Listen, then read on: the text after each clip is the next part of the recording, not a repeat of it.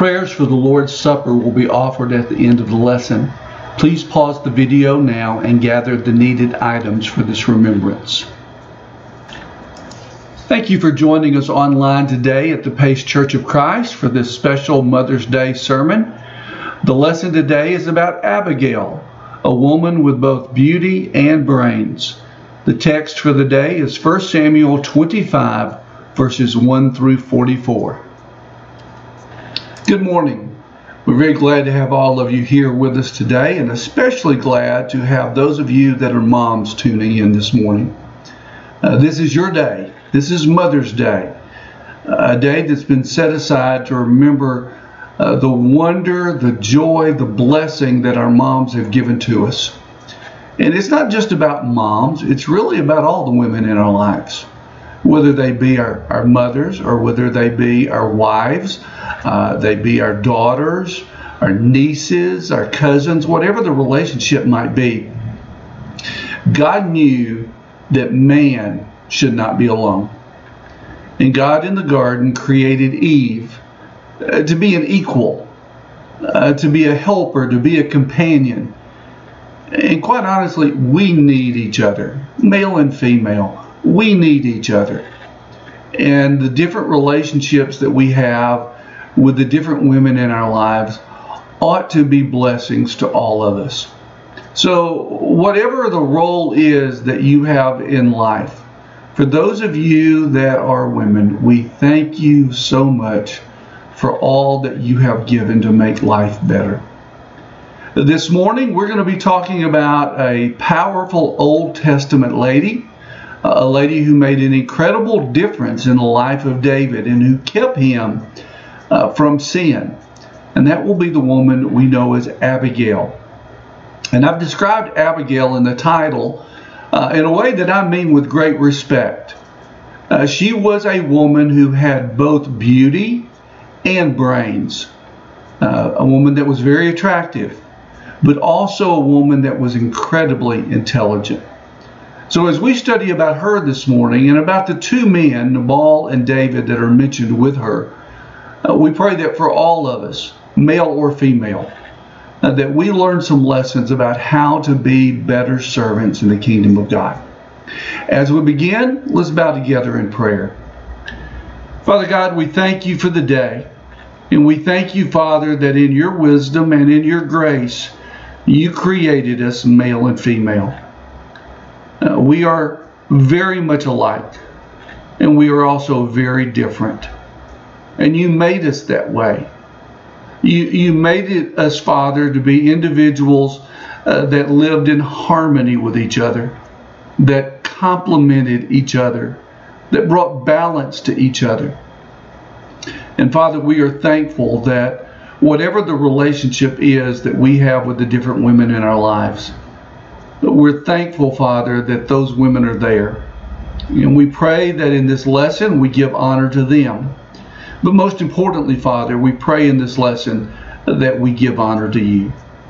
Be with us this day, Father, and may all we say and all we do be pleasing to you. For it's in Jesus we ask. Amen. The cast of characters, 1 Samuel 25, verses 1 through 3. And David arose and went down to the wilderness of Paran. Now there was a man in Maon whose business was in Carmel, and the man was very rich. The name of the man was Nabal. The man was harsh and evil in his doings, and he was of the house of Caleb. And the name of his wife, Abigail, and she was a woman of good understanding and beautiful appearance. As we open up to 1 Samuel 25, we're introduced to our three main characters for this chapter. Uh, the first that we're introduced to is David, who is the uh, anointed of God, the future king. Uh, he is in hiding from King Saul, who is trying to kill him. On various occasions, David has actually had the opportunity to kill King Saul, uh, but refuses to do so because Saul was chosen by God and is in that role of king. In chapter 24 and in later in chapter 26, we see at least two occasions where David had that opportunity uh, to remove Saul from his life. Well, David is the shepherd who will become king. Uh, but David is also a man that is driven by desire and by passion. And sometimes David can allow his temper to get in the way. The second person that we're introduced to is Nabal. Nabal is a wealthy man who lives in Maon. He has lots of sheep, lots of goats, which is how they measured wealth back in those days. And uh, his personality is what is so unique about him, though. Uh, Nabal is a man who is known for his hostility. He is known for being mean and unkind and rude. Uh, he is the kind of person that will not show hospitality, will not show graciousness to others. As a matter of fact, his name itself means fool. The third character is Abigail. And Abigail is the one who is the uh, heroine of this story. Uh, she is the one that will save David from a terrible decision uh, that would have left him guilty of murder. So Abigail is known not only as, as Nabal's wife, but she's known for two very important qualities that are mentioned in the text. The first quality is that she is a woman of great understanding. She's a smart, smart woman, a very intelligent woman. Uh, she knows how to think. She knows how to process.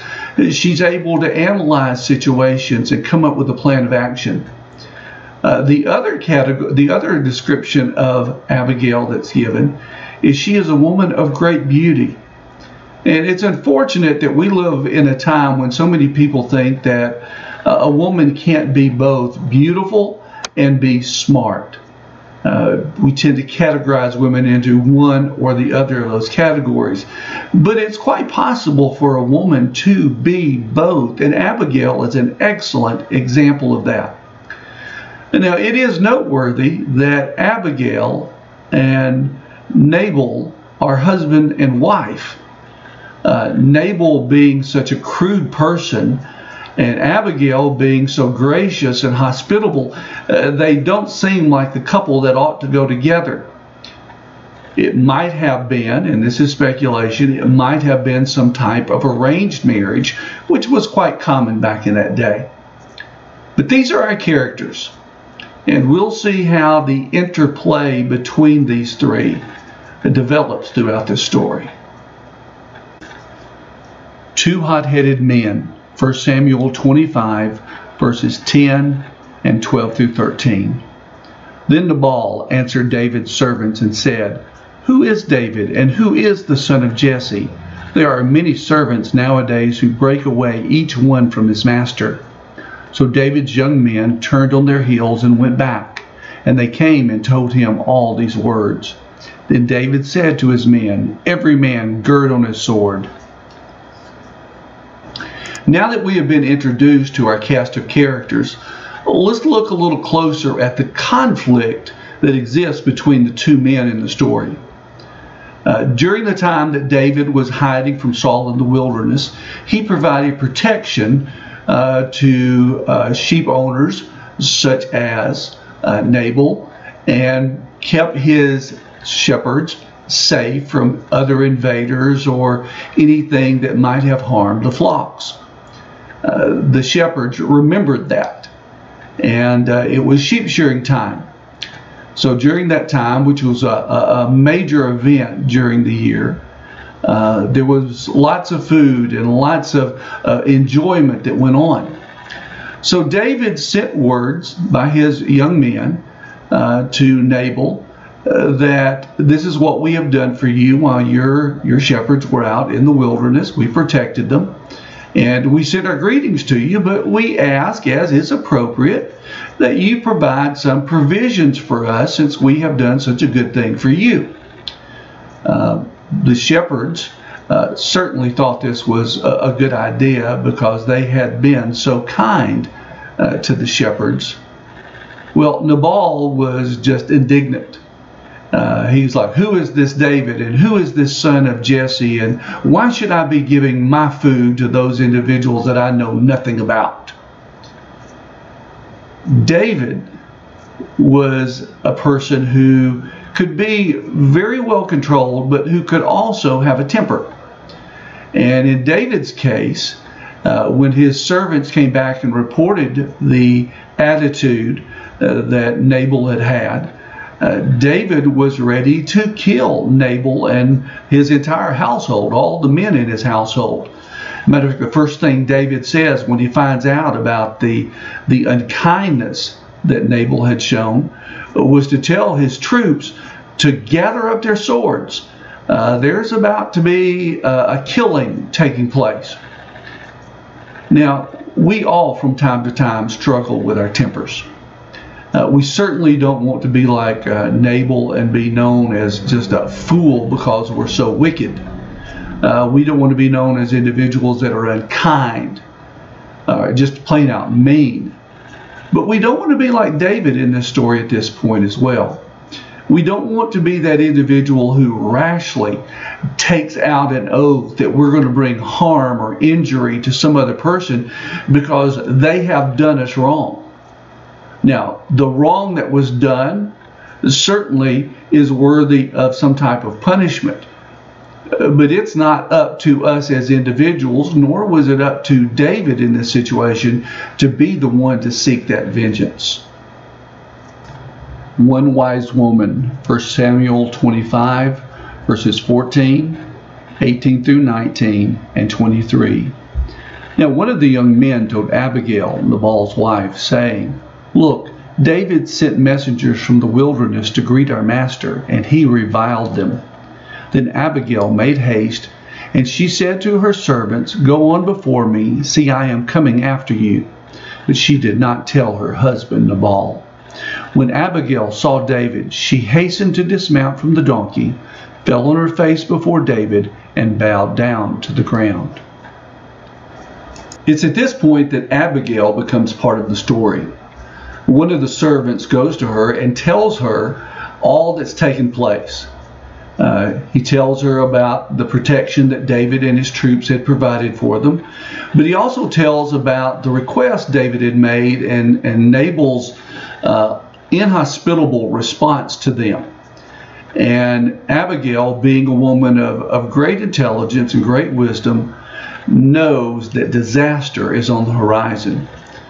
Uh, so she quickly puts together a plan of action and sets that plan into motion.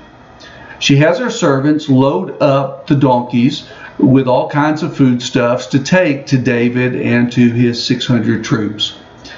And she herself is going to go with this group to deliver those items. Now, the story goes on that as they approach each other, that when Abigail sees David, uh, that she dismounts from her donkey. Uh, she bows down to the ground and shows honor to David. Uh, this idea of, of bowing down, getting off one's donkey and bowing down before someone else, is the idea of a lesser showing respect to one that's greater. David certainly would have taken a notice of that. So Abigail proceeds to apologize for the unkindness, the rudeness that had been done by her husband. Uh, these gifts she's brought for them to, to make up for that and to provide for that and to honor the request that David's young men had made. And Abigail, at that point, though, uh, uses her wisdom to show David that the path that he has chosen, a path of vengeance, of personal vengeance, is not the way that the future king of Israel needs to go. Matter she very logically, very rationally explains to him that this just is not the kind of behavior or the kind of attitude that David ought to have. There's even a reference in there to a sling and, a, and the pocket of a sling. Uh, maybe a reference back to David and Goliath and reminding David that God has delivered you from, from bigger and more difficult situations than this. Don't take it upon yourself to rashly seek vengeance. Otherwise, as you become the, the future king of Israel, you enter that kingship with blood on your hands. The guilt of a murder done in vengeance. And uh, she admonishes him and counsels him to seek a different path. Abigail was one sharp lady. And without question, David took notice of that. Uh, her argument, her, her reasoning was sound. And, it takes a, a, person of, of great courage to do what she did. It also takes a person who can graciously correct somebody else. And I know it may not seem that way, but Abigail was correcting David. She was showing him the error of his thought process. Abigail's wisdom is also seen in something else. She undertook this plan of action without consulting her husband on it. Uh, it would not have taken place. It would not have gone over well. As a matter of fact, things would have gotten even worse uh, had she told him about all this. So she set out to diffuse an explosive situation created by her husband. In those times when we're dealing with explosive personalities, in those times when we're dealing with individuals who have been insulted or who have gotten their feelings hurt, uh, it's important that we show graciousness and we show hospitality and understanding. Uh, that we don't belittle them, that we don't argue with them and, and just debate with them, but that we use logic and calmness, that we use politeness and respect to make our point. And that's what makes Abigail such a strong character in the story. As a matter of fact, of the three characters, she is the one who consistently shows the most grace and the most understanding. Two different responses. 1 Samuel 25, verses 32 through 33, and verse 36. Then David said to Abigail, Blessed is the Lord God of Israel, who sent you this day to meet me. And blessed is your advice, and blessed are you because you have kept me this day from coming to bloodshed and from avenging myself with my own hand. Now Abigail went to Nabal, and there he was, holding a feast in his house like the feast of a king. And Nabal's heart was merry within him, for he was very drunk, and therefore she told him nothing, little or much, until morning light. One of the noteworthy things about this story is the way that the two men respond to Abigail. David has listened to Abigail make her points he realizes that he has been so rash in making this vow that he is going to kill all the men in Nabal's household. So David has calmed down. He realizes that he's wrong. And his response to Abigail is uh, that truly it has been a blessing for God that she has come to meet him. And that she is blessed because she has prevented him from doing a horrible, horrible act. So David gives praise to her because of her wisdom. And David takes to heart uh, the lessons that he has learned from her. Nabal, on the other hand, uh, is not so open to correction. Uh, Abigail returns home and when he gets when she gets there, uh, Nabal is in the midst of a great feast. He's full of wine, he's drunk, but he's also full of himself. And he's celebrating as if he's a king because, again, sheep shearing time of year was, was a major event in their calendar. So it's not the appropriate time to speak to him because all he's thinking about is his own enjoyment. So the next morning, uh, when Nabal is awake and has sobered up, Abigail goes to him and tells him everything that's taken place. how that he has brought death and destruction upon himself by, by the crudeness and by the hostility that he had shown to David. And just how close to death uh, Nabal has come because of that kind of attitude. Now, many scholars think that what happens next in the story is a stroke uh, because there's an indication there of uh, some type of paralysis that sets in. And, and, if it is a stroke, it greatly affects Nabal and, and leaves him um, uh, unable to function. And in a few days, he dies. So vengeance does come, but not at the hands of David. God is the one that brings vengeance. God is the one who takes care of David, as God has done on so many times. Uh, David is not guilty of murder. God, in his wisdom, is working a plan. Now, as we look at the difference between these two, the foolishness of Nabal, because he would not be open to the instruction of his wife or anyone else, or we see the effect that she had on David and his willingness to listen to her. A happy ending, 1 Samuel 25, verse 39. So when David heard that Nabal was dead, he said, Blessed be the Lord who has pleaded the cause of my reproach from the hand of Nabal and has kept his servant from evil. For the Lord has returned the wickedness of Nabal on his own head. And David sent and proposed to Abigail to take her as his wife. I guess you could say that this story has a happy ending. Uh, the person who has been the villain in the story uh, gets what's coming to him. Uh, Nabal is taken out of the picture.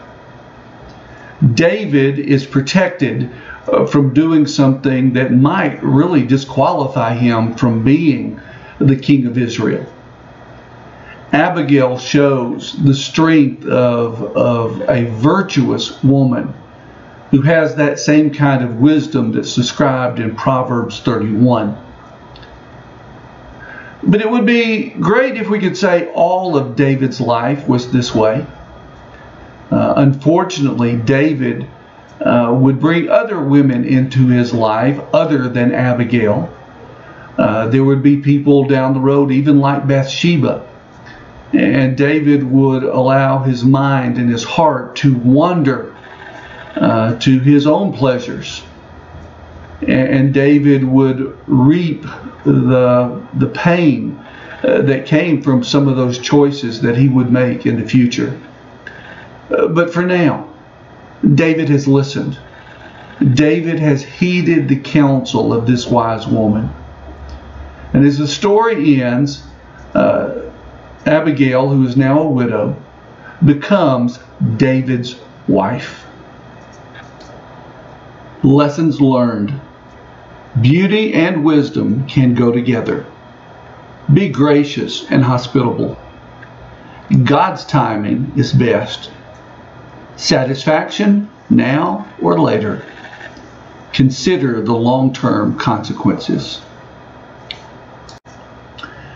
As we bring our study to a close, let's take just a few moments to make some observations, some lessons that we've learned today. First off, uh, ladies, please understand uh, that it is okay to look good. It's okay to look nice. But what's more important is that you be a woman of wisdom. In this story, Abigail was both beautiful and intelligent, but it was her intelligence that won the day. It's like the woman again in Proverbs chapter 31. Uh, she was a, a very charming woman, but her beauty was more than just the exterior. It had to be the kind of things that came from her heart, that came from her attitude, that came from her work ethic, that came from her concern for her family and for her husband. So beauty and wisdom can go hand in hand. Second observation is that we should be gracious and hospitable at all times. The villain in our story was an individual who was crude and obnoxious and unkind. Abigail showed what takes place when a person with courage graciously deals with difficult situations. It was because she was both gracious and hospitable, particularly in this difficult time, that she was able to bring resolution to the problem. Thirdly, her counsel to David not to rush into seeking vengeance, but that God had delivered him before and God will deliver him again, is a reminder that God's timing is best. We can be impatient. We can be individuals that rush in and, and try to do things our own way. But Abigail's counsel to David of waiting on the Lord, letting Him fight the battles, truly is good advice. Satisfaction from that, vengeance, it's not ours to achieve. It's this desire that we have sometimes to have what we want and to have it now. We learn from the story involving involving Abigail that sometimes what's best comes later on. And finally, it's considering the long term consequences. Abigail realized what her husband's rudeness had brought upon their whole household. And she had to intervene so that the, the long term damage would not be done. David learned from Abigail uh, that he had to think not just about what he wanted right now, but he had to view it in terms of what God was developing in his life. So as we look at those lessons and as we think about what we've learned, maybe we realize that uh, we've been trying to handle everything in our own life. Maybe for some of us, we've been more like Nabal. We've been known because of our uh, unkindness, our anger, our selfishness, and people view us as being foolish and wicked.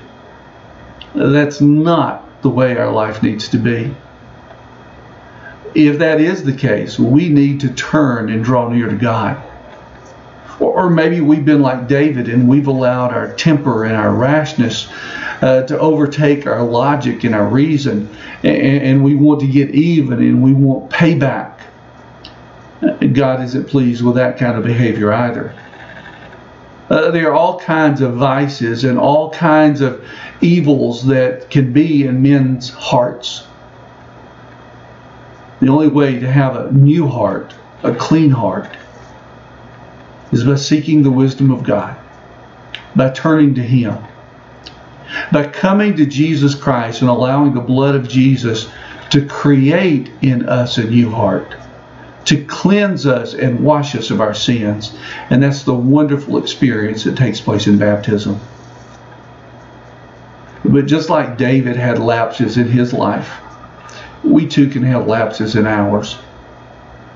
Uh, David showed wisdom at the end of this story by refraining.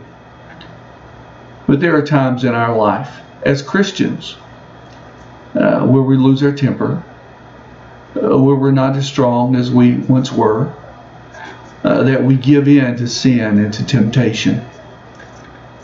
It's in those occasions that we need to be lifted up before God and to ask God to forgive us once again. I do pray that if there is need in your life, that today you will seek the wisdom that comes from God and that He will give you a heart that is pure. May the Lord bless you and keep you. Prayers for the Lord's Supper will be offered at the end of the lesson. Please pause the video now and gather the needed items for this remembrance. He then would have had to suffer often since the foundation of the world. But now, once at the end of the ages, he has appeared to put away sin by the sacrifice of himself. Hebrews chapter 9, verse 26. The book of Hebrews spends a great deal of time talking about the sacrificial system of the Old Testament, with all its connections to the temple and the tabernacle and the priesthood. And it does so by showing how all those things pointed us toward Jesus. Jesus being the great high priest who doesn't have to offer sacrifice for himself, but offers sacrifice for us. And it's not a sacrifice that has to be offered over and over and over, but it was a sacrifice that Jesus offered once for all time. The sacrifice that completed the task. The sacrifice of his life and his blood that we might be made whole. As we partake of the Lord's Supper this morning, we remember that sacrifice. We remember that it was by the death of Jesus that our salvation was obtained. It was by the shedding of His blood and the giving of His body that we were made whole and right before God. So as you partake of the Lord's Supper this morning, Examine your life. Focus in on that sacrifice. Remember that God loved you so much that He sent Jesus to die for you. Let's bow together as we give thanks for the bread. Father God, we thank you so much for this bread that represents the body of Jesus. We're thankful, Father, that He came to this earth to sacrifice His life for us, that we might have hope and that we might have heaven. And we pray, Father, that we will partake in a manner that's pleasing to you, and that each day we will live in a manner that is pleasing to you. For it's in Jesus we ask. Amen.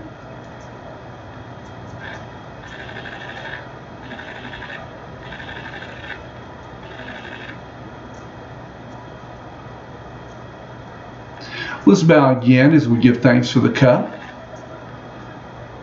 Father God, the blood of Jesus that was shed for us is so amazing and so powerful. It can take the worst of sinners and make them white as snow. And Father, we are thankful, we are grateful that Jesus died on the cross for us, that that blood was shed. And Father, as we drink from this cup, we remember that blood we celebrate the victory that we have from the shedding of that blood. We give thanks, Father, that that blood makes us innocent in your sight. And Father, as we partake, we give honor to Jesus for all that he has done for us. It's in his name we pray. Amen.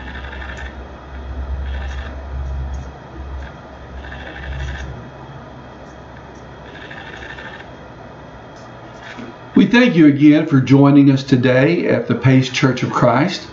Our next lesson will be this Wednesday, May 13th, and it will come from 1 John chapter 2 verses 1 through 14. The lesson will be entitled Knowing Christ. Until then, may the Lord bless you and keep you.